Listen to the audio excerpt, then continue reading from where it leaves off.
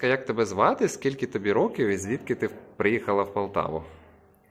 Алена, мне 7 лет. Я приехала из Дебальцева в Полтаву. Дякую. А ти тут намалювала голуба, колоски. А що для тебе означає голуб? Ш- Белый голубь, значит, для меня что-то символ мира. Дякую. А колоски? Символ, что мир в Украине. Дуже гарно. А що б ти хотіла побажати тій людині, якій ми подаруємо цю картину?